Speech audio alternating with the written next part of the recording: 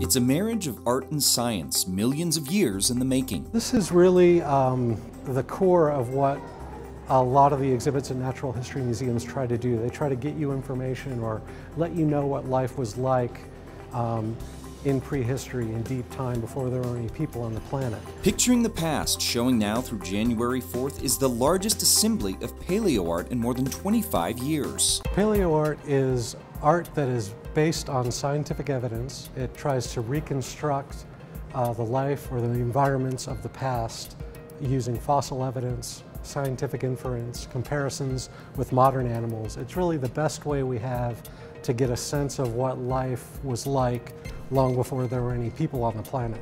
The show features 85 juried selections from more than 300 works submitted by paleo artists worldwide.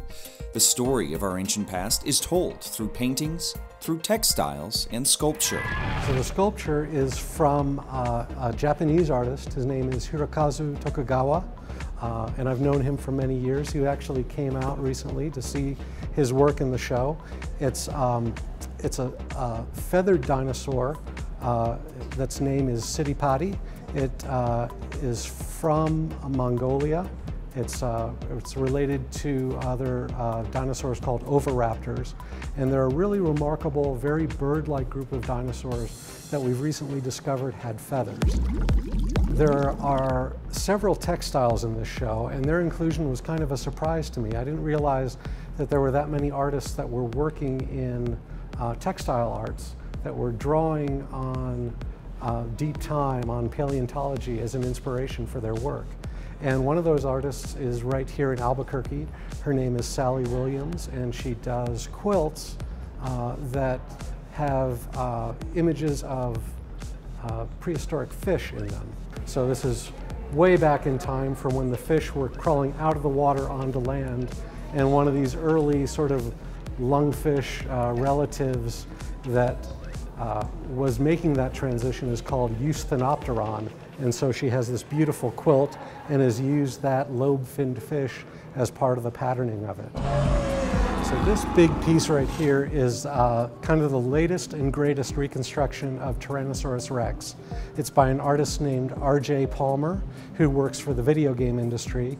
And as part of a project that he's working on, they're trying to do the most accurate T-Rex to date. So he worked with um, scientists and other artists to start from the bones of a Tyrannosaurus rex skeleton, add the appropriate muscles and soft tissue and then flesh it out in the, in the right covering and get some realistic color on there. So it's a little bit beefier than you might have seen uh, T-Rexes in the past.